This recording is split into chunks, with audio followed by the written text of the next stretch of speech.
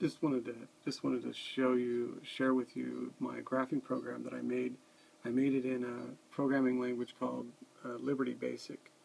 I've already cleared the screen from the last uh, run, but if I want to regraph it, all I have to do is just, uh, uh, I think it was this one.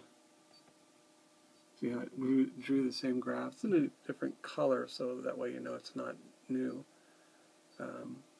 I can even save it as a bitmap, and then you just go into your your directory that you are running the program in, and just bring it right back up. And you can bring it up in a drawing program.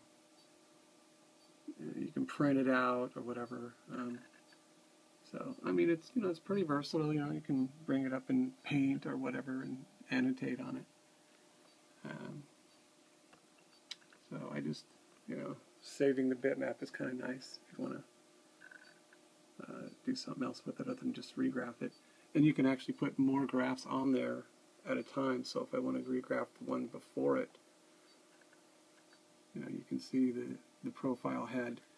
Uh, well, if I just if I just clear the whole thing and grab that one, you can see I had some dropouts, um, and they were uh, because I had a cell phone right next to it.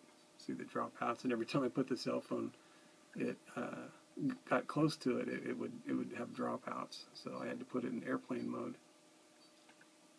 But anyway, that's my program. Doo -doo -doo, pretty cool.